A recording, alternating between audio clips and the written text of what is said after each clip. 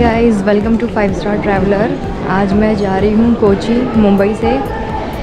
और अभी जिस, जिसका सेकेंड डोज हो चुका है वैक्सीनेशन का तो उसे R T P C R की ज़रूरत नहीं है। और लेकिन अगर आप केरला जा रहे हैं तो एक ऑनलाइन ई पास केरला के लिए आपको भरना पड़ेगा।